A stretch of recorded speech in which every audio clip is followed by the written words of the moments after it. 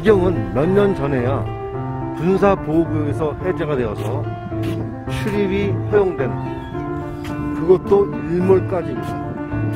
오후 6시까지 오후 6시까지만 한시적으로 개방하는 그런 아름다운 해변입니다. 해변 그 사이즈에 비해서 어, 아주 소수의 소수의 사람들이 찾아다니는 곳.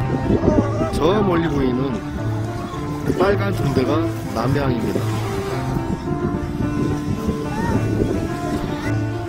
위치는 남해항 좀 못 가서 쉽게 얘기하면 중운진에서 남해항 방면으로 중운진에서 속초 방면으로 약 10분 정도 올라오면 지정일관을 만날 수 있습니다. 가봐, 가자.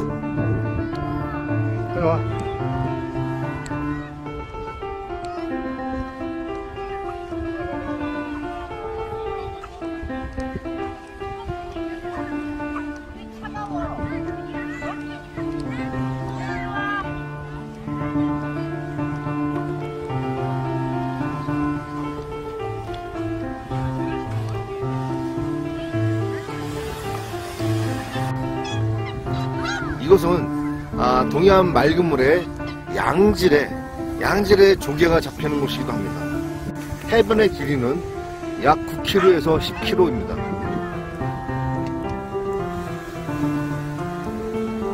아, 해변의 사이즈에 비해서 너무 소수의 사람들이 즐기고 있죠.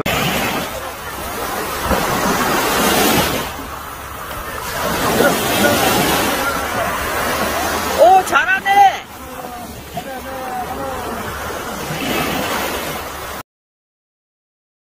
모시조개 같아 모시조개 모시조개예요 모시조개 모시조개 아, 그 먹는 거 아니에요.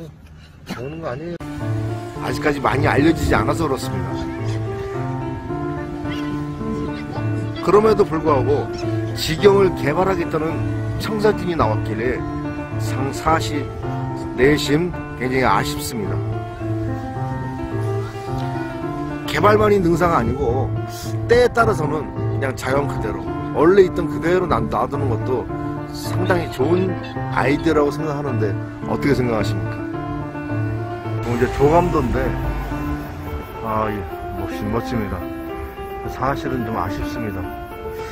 아, 개발하지 않고 이 상태로 뒀으면 좋겠어요 저는. 이 상태를 유지하면 더 좋겠습니다.